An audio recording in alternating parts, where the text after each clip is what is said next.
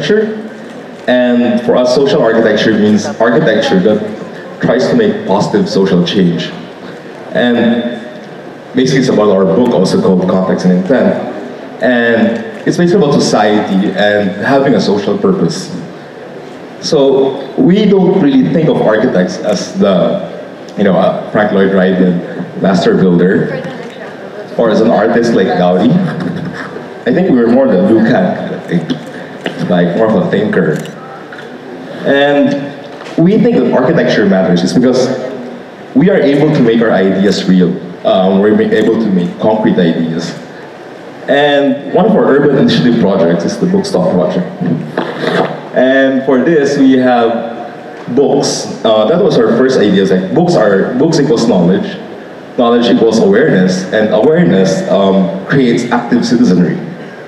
And so the question for us is, does anyone read books now? And if so, what's the role of a library? Like this is the um, Rose Reading Room. Um, it's just recently done. And but you know, we were thinking like the first libraries actually were outdoors before we had electricity, before we had electric lights. Um, libraries were just um, repositories for books. And so we came up with the Bookstop project. Um, it's quite small, it's 12 square meters. Um, it's actually a series of like seven portals. And from the side, it looks like a shelf of, or a stack of books.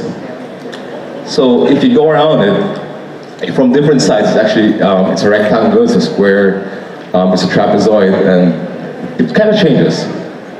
And so recently just won the um, Architizer A Plus Awards. And I think it's been around, um, it's been to San Sebastian, it's been to Alabang, QC Circle.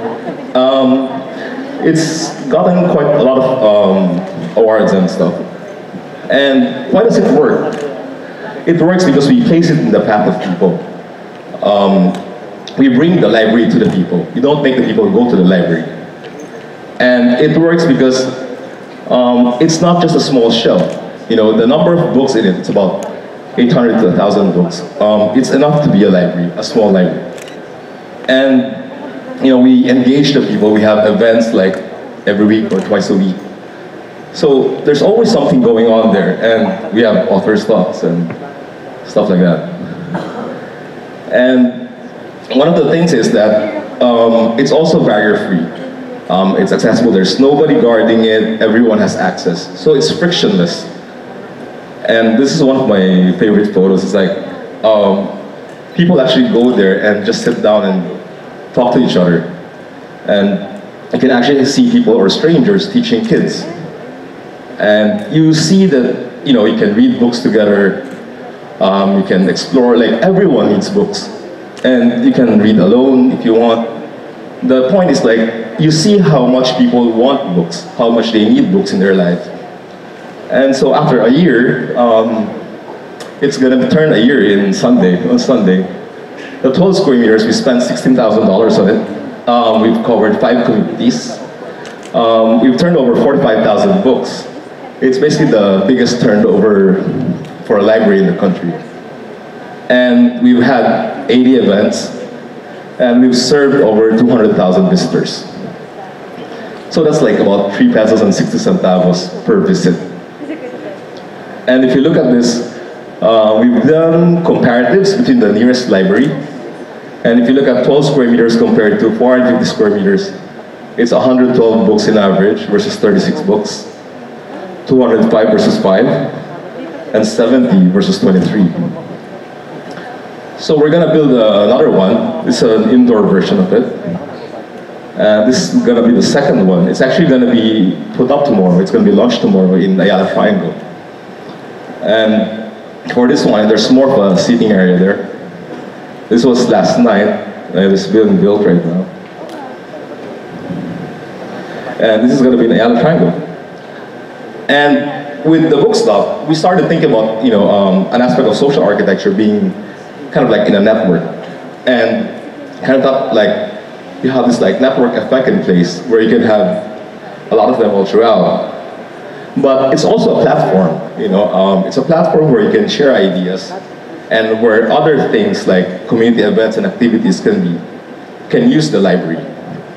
And it's also a form of communication because you can have certain messages on these networks because they're so widespread. And so we're doing the Museo del Prado exhibit. Um, it's going to be launched tomorrow also. Um, this one is about bringing the museum to the people. And, and the highlight is uh, Juan Luna's um, Death of Cleopatra. So we're looking at the Museo del Prado in Madrid, and it's all about the light, you know, having the light come in. And this is by Rafael Moneo. And even the, I think this is the extension which is going to be done by Foster. It's all about getting the sunlight in, and even the corridors, you see, it's all about the arches and the vaults, but there's like the sunlight in between. So I think it's a perfect space to be replicated outdoors. So it's sort of like what we came up with. And it's just a simple uh, taffeta canvas on like two arches, two steel arches. And it's gonna be distributed in Ayala Triangle tomorrow. And there are like four um, clusters of it. Um, each one with a representative of like a different layout that you can find in the Prado. And this is it being built last night, actually. And this is how it's gonna be when it's up. It's actually gonna be traveling also. It's gonna be in Intramuros um, after Ayala Triangle. And imagine the museum in the park. And when you just wanna go around there, you can rest, you see it, um, art in the park. So this is tomorrow. And another aspect of architecture that we're exploring is about shopping how can we make this very um, consumerist, very capitalist activity uh, more social or more human? And we started thinking about that when we were doing this project. Um, it's actually an office building. It's called the Urban Block. But the first four floors were actually um, retail space, was intended to be retail space. But what we did here was we started to blur the lines of what retail and commercial is. Uh, we said there shouldn't be much distinction because if you look at the Roman Forum, you have office there, you have retail there, um, you have politics there. So we didn't want to create this um, stark delineation between different activities. And I think that's how we started working with this and where the idea came from. And so now we're working on this project. Um, it's for a public market. Um, it's going to be in the city of Catbalogan. And for us, the idea here was that if you look at the shopping center, it's actually an evolution of a market. The only difference is that we got so focused on retail that we forgot the charm or the heart of a market. But now the shopping centers themselves, they're trying to become destinations because retail is moving online. And if we can get you know, the character or the charm of a market, which is like when we travel, we always go to the market, if we can retain this, then we can create a very interesting um, shopping experience. And so we said, you know, the typical way would be to segregate the market and the mall, and we didn't want to do that. We wanted to intersperse the market with the mall. But more so, we wanted to blur the lines and just merge it and say we are actually just building a market. It's just a different kind of market. And for us, one of the challenges here is how do you get, as with any retail space, is how do you get the people um, moving up to different floors?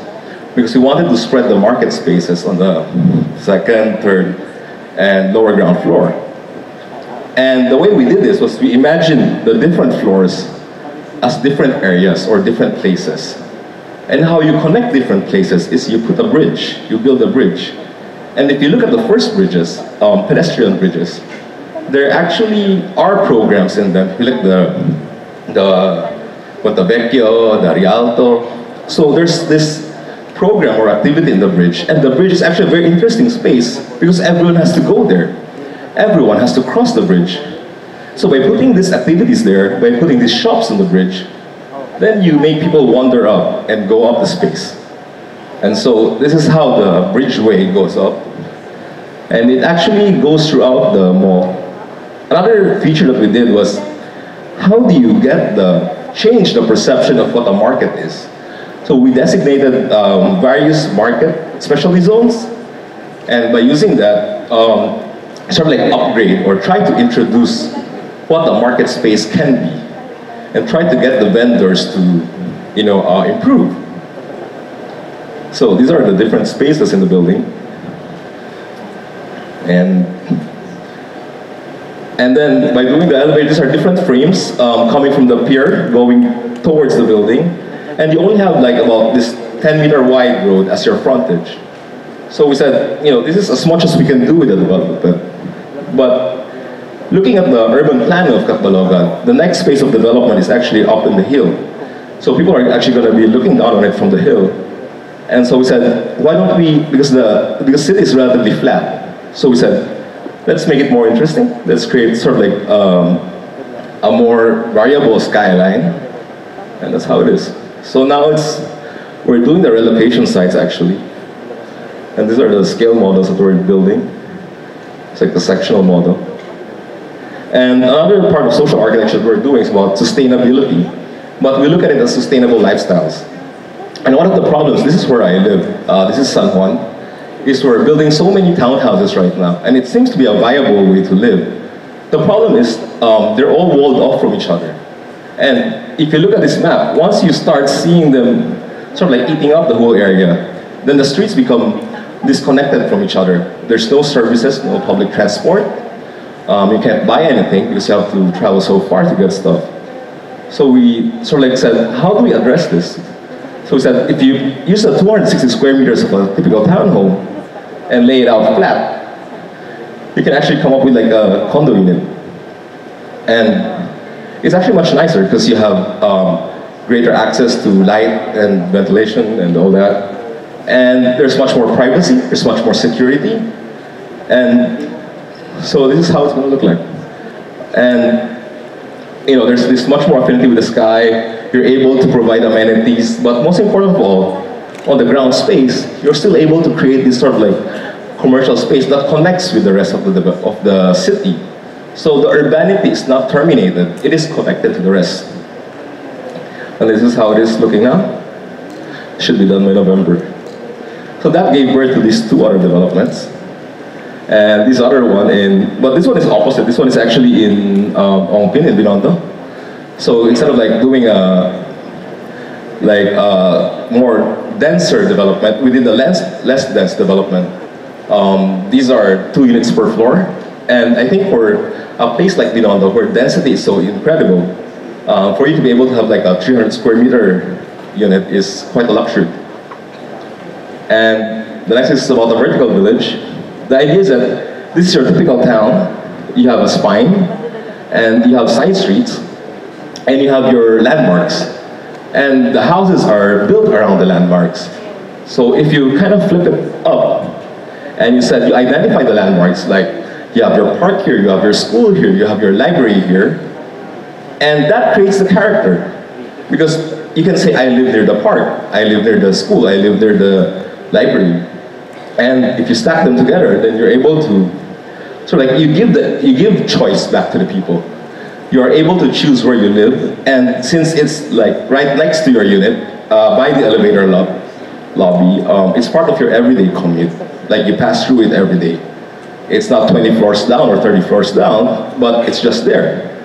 So it becomes part of your daily life. And this is how it's gonna look. It's kind of like an ivory tower. And it's actually uh, an offshoot of this project. This was the same client.